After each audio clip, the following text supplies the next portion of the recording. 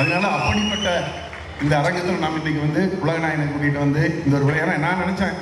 இந்த மாதிரி ஹண்ட்ரட் டே ஃபங்க்ஷனுக்கு வருவாரா அப்படின்னு எனக்கு ஒரு டவுட் இருந்தது. ஏன்னா அவர் ஜாஸ்தி இருந்ததுலேயே கலந்துக்கிறது இல்லை. சென்னையில் நடக்கிற விழா தான் இருக்காங்க. ஆனால் கோயம்புத்தூருக்கு வரேன்னு ஒரு ஒத்துக்கிட்ட வந்ததுக்கப்புறம் பிரபு சொன்னார் இந்த மாதிரி வரேன்னு சொல்லியிருக்காரு. ரொம்ப சந்தோஷம். நானுமே சமயத்தில் அந்த மூணு நாலு வருஷம் எந்த வெளி ஃபங்க்ஷனையும் கலந்துக்கல. அவர் வரும்போது கண்டிப்பாக நம்ம ஊருக்கு வரும்போது நம்ம அவர் முன்னாள் வர வேண்டியதான் மரியாதை இருக்கணும். அப்படிங்கிறது தான் இன்னைக்கு இந்த மேடையில் நம்ம எல்லாரும் இவ்வளவு சந்தோஷமாக கூடியிருக்கிறோம். எல்லாத்த விட இந்த மேடையில் நான் திரையரங்கு உரிமை சங்க தலைவர்கள் மட்டும் சொல்ல ஏறத்தாழ தமிழ் சினிமா ஆரம்பித்து நூறு ஆண்டுகளை கடந்துருச்சு. இந்த நூறாண்டு தமிழ் சினிமா வரலாற்றில் number one collection top most collection வைக்கிறது இது வந்து மற்றவங்களை யாரை குறைத்து மதிப்பிடுவதற்காக சொல்லக்கூடிய வார்த்தை அல்ல. இந்த படத்தினுடைய பொறுத்த பொறுத்தளவில் இதுவரைக்கும் ரெக்கார்டு முறை கலெக்ஷனுங்கிறத ரெஜாயின் மோஸ்திரி செண்பகமூர்த்தி வந்திருக்காரு.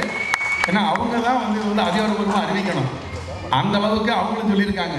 அந்த மாதிரி ஒரு பிரம்மாண்டமான ஒரு கலெக்ஷன் இந்த படத்துக்கு வந்ததில் திரையரங்க உரிமையாளர் எங்களை பொறுத்தளவில் மிகப்பெரிய சந்தோஷம். கமல் சாரை பொறுத்தளவில் அவர் பொலிட்டிக்கல் இருந்தாலும் சரி எங்கே இருந்தாலும் சரி எங்களை பொறுத்தளவில் அவர் சினிமா தான் அவருடைய பேச்சு அவருடைய மூச்சு. இன்னும் சொல்ல போனால் தமிழ் சினிமாவில் நிறைய விஷயங்களை அறிமுகப்படுத்தினது அவர் தான் first first DTR sound system வந்ததுக்கப்புறம் குருதி புனல் எடுத்து அந்த குருதி புனலில் அந்த சவுண்ட் சிஸ்டத்தை அறிமுகப்படுத்தி வச்சு அவர் தான் அறிமுகப்படுத்தி வச்சார். அதே மாதிரி ஃபிலிம் ரோல் இருந்து சினிமா வந்து டிஜிட்டலுக்கு கொண்டு வந்தது மும்பை எக்ஸ்பிரஸில் கொண்டு வந்தார். இப்படி தமிழ் சினிமாவுடைய அடுத்த பரிமாணம் அடுத்த பரிமாணம் ஒவ்வொன்றும் அவர் கொண்டுட்டு வந்துட்டு இருக்கிறத பார்க்கும் பொழுது சில சமயத்தில் எனக்கு அவர்களும் ஆர்கியூமெண்ட் கூட வந்திருக்கு. முதல் முதல் சினிமாவெல்லாம் வந்து கேபிள் டிவியில் போட்டுட்டு இருக்கும்போது நான் கமல் சார் ஆஃபீஸில் போய் ஆர்கியூ பண்ணியிருக்கேன். சார் நீங்கள் இதை எதிர்த்து பேச மாட்டேங்கிறேன் அப்படின்னு சுப்பிரமணியம் நீங்கள் இப்போ கேபிள் டிவியில் போடுறத பேசுகிறீங்க இனிமேல் வருங்காலத்தில் வந்து சினிமா உங்கள் கைக்குள்ளேயே வரப்போகுதுன்னு சொன்னார்.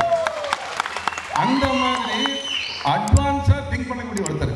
சினிமாவில் நாங்களாம் வந்து என்ன இவர் இப்படி பேசிட்டு இருக்காரு?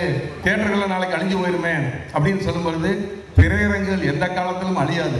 அதுக்கு அவர் நீங்கள் சொல்லியிருந்தாரு எவ்வளவுதான் வீட்டில் படம் இருந்தாலும் திருப்பதியில் போய் கும்பிட்டா தான் சாமி ஒன்று திருப்தி உங்களுக்கு இருக்கும் அந்த மாதிரி தான் எங்கே நீங்கள் சினிமா பார்த்தீங்கனாலும் கையில் பார்த்தாலும் சரி நீங்கள் வீட்டில் பார்த்தாலும் சரி ஹோம் தேட்டரில் பார்த்தாலும் சரி இந்த மாதிரி ஆயிரக்கணக்கான மக்கள் உள்ளே உட்காந்துட்டு இருக்கும் பொழுது அந்த ஆக்ஷன் அந்த காமெடி அதையெல்லாம் பார்த்து கைதட்டி சந்தோஷமாக நம்ம வந்து இருக்கக்கூடிய சந்தோஷம் வேற எதுலேயுமே இருக்கவே இருக்காது. அதுலேயும் அவரை பொறுத்தளவில் எல்லா அட்வான்ஸ்டு டெக்னாலஜியும் தன்னுடைய படத்தில் இருக்கணும்னு விருப்பப்படுவார்.